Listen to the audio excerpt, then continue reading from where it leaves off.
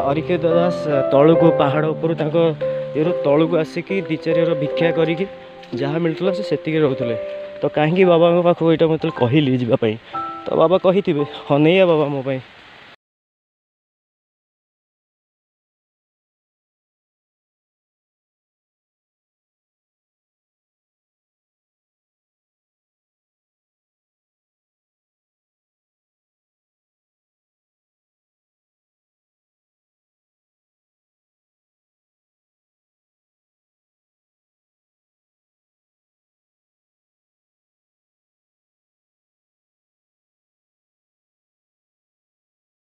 对起。